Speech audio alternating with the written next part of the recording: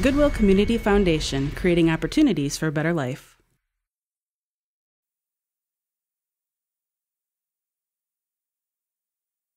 Before you share a presentation, there are a couple of things you can do to finalize and protect it. You'll find everything you need in the Backstage view under Protect Presentation and Inspect Presentation. Inspect Presentation will let you remove any hidden personal information that's stored in the file itself. It'll also check for elements that you generally don't want in the final draft, for example, any notes or comments that you forgot to remove. Some of these changes from the inspector can't be undone, so it's a good idea to save an extra copy before you continue. When you're ready, go ahead and click Check for Issues. Choose Inspect Document from the menu. Then click Inspect in the dialog box. The results will appear with an exclamation mark next to anything that may contain sensitive information.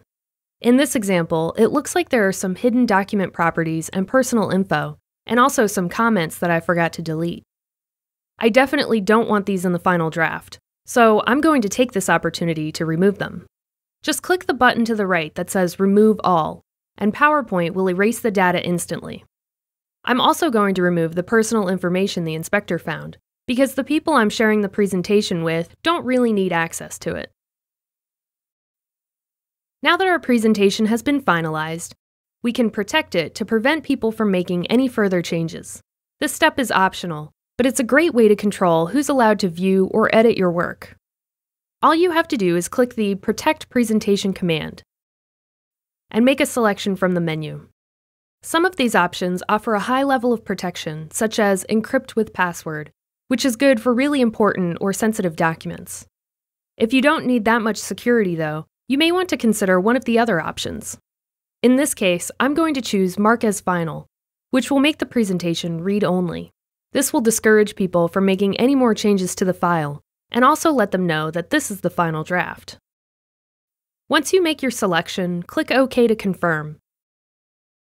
Then OK again, and the protection will be applied.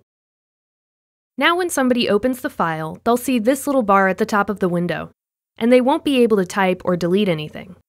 If they do need to make changes, they can click the button that says Edit Anyway. This option doesn't provide any actual security for your document. However, it's a good way to keep people from changing or deleting something by accident.